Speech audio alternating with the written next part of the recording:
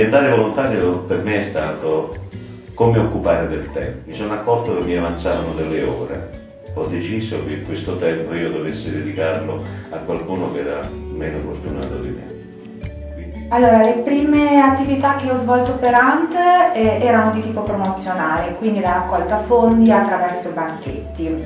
Da tre anni circa seguo invece proprio due, due signore e per loro faccio le attività un po' che servono, insomma, quindi la spesa in alcuni casi, che può essere una spesa settimanale, piuttosto che delle commissioni eh, in banca presso postali, mi accompagni per fare delle visite mediche oppure mi faccio carico per esempio di prenotare le visite mediche per loro.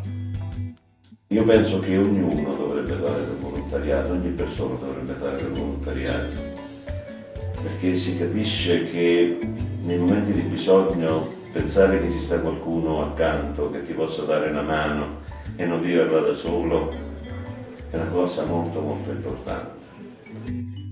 La, la, difficoltà maggiore sta soprattutto dal punto di vista personale, quando, ahimè, a volte questi amici mancano.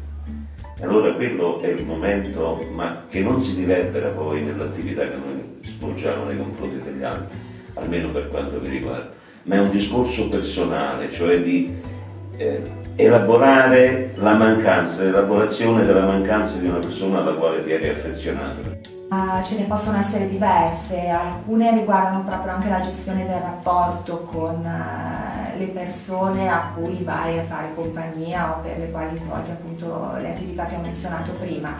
Perché mh, in alcuni casi le persone possono un po' andare oltre no, al rapporto che c'è tra volontario e paziente ANT e la, eh, si risolvono facilmente, nel senso che comunque ANT nel momento in cui tu diventi volontario eh, si rende disponibile per supportarti in tutte eh, le fasi di svolgimento della tua attività.